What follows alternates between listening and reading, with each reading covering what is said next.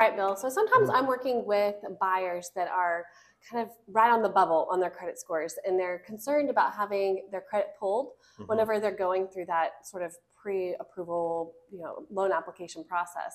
Right. What would you advise them? Well, it's a good concern because one is if they're anywhere in a, a bubble situation or like in between levels, their additional credit pulls could make the difference between lowering their scores to make it where they may or may not be approved for the loan.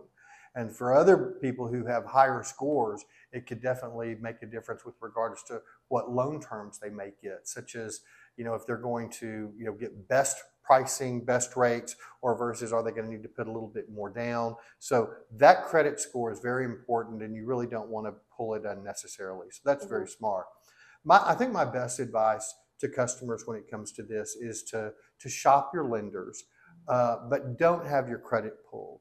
I mean, you want to look for uh, basically a lender that's responsive to your call, a lender that you know responds to your emails, to your phones, a, a, someone that you're comfortable with. Mhm. Uh, you then want to have someone that can explain all the fees, all the uh, loan products in a way that, that are understandable to you. Mhm. And then if you've selected that lender, then you should make application with them, let them pull your credit and uh, go forward with that lender. Now, if you do choose to apply with a couple of different lenders, Mm. don't be alarmed. It's okay because, especially if you'll do it within a 14 day period of time, because if it's within 14 days, generally it's considered just one mortgage inquiry.